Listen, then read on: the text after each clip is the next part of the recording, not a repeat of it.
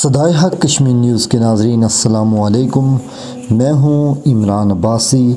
अगर बैरिस्टर सुल्तान को वज़ी अजम नहीं बनाते तो ख़दशा है कि इमरान खान को आज़ाद कश्मीर में हुकूमत बनाने से कबल ही बुरी खबर सुना दी गई। इस खबर की तफसीत से आपको आगाह करते चलें। सीनियर सहाफ़ी राना अजीम का कहना है कि अफवाहें गर्दिश कर रही हैं कि ख्वाजा फ़ारूक को वज़ी अजम आज़ाद कश्मीर बना दिया गया है। इस वक्त मसला बना हुआ है कि बैरिस्टर सुल्तान किसी सूरत सदर बनने पर तैयार नहीं।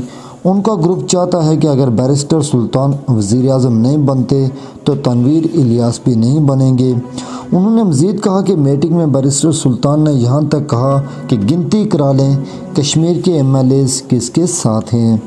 अगर बैरिस्टर सुल्तान को वज़ी अजम नहीं बनाते तो ख़दशा है कि पी टी आई का एक बड़ा धड़ा कुछ अरसे बाद अलग हो जाए तो पी पी नून लीग के साथ मिलकर मामला तब्दील कर सकते हैं। हो सकता है कि ख्वाजा फारूक का कूड़ा निकल आए।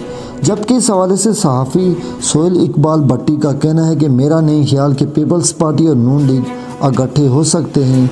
वज़ी अजम आज़ाद कश्मीर का मामला टूल पकड़ने की जबकि बैरिस्टर सुल्तान महमूद इलियास की यहाँ सदारत को अहदा दिया जाएगा। इलेक्शन से पहले उनकी नज़रें वज़ीर इमरान खान की जानिब से अपने करीबी साथियों से तनवीर इलियास की तफसील में इमरान खान को फैसला लेने आज़ाद कश्मीर के नए वज़ीर के नाम का ऐलान कि इससे कबल बताया गया कि ख्वाजा फारूक बताया गया है कि जुमेरात के रोज आज़ाद कश्मीर की ज़ात सदारत आज़ाद कश्मीर के नौ मुंतब अरकान का इजलास हुआ जिसके बाद इमरान खान से बैरिस्टर सुल्तान महमूद ख्वाजा फारूक तनवीर इलियास और अजहर सादक ने अलग अलग मुलाकात की। जराए के मुताबिक वज़ी अजम इमरान खान ने हर उम्मीदवार से पंद्रह मिनट की मुलाकात की।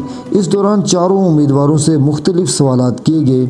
इंटरव्यू में सियात पन बिजली, मादनियात सेहत तालीम और तरक्याती कामों से मुतलिक वी एन के मुतलिक जानने की कोशिश की, जिस पर चारों उम्मीदवारों ने आज़ाद कश्मीर से मुतलिक अपनी अपनी तरजियात से मुतलिक वज़ी अजम इमरान खान को आगाह किया। मुलाकातों में वफाकी वज़ी अली अमीन गंडापुर भी मौजूद थे। ताम आज़ाद कश्मीर के वज़ी अजम की नामजदगी के लिए इमरान खान मज़ीद रहनुमाओं से भी मशावरत करेंगे।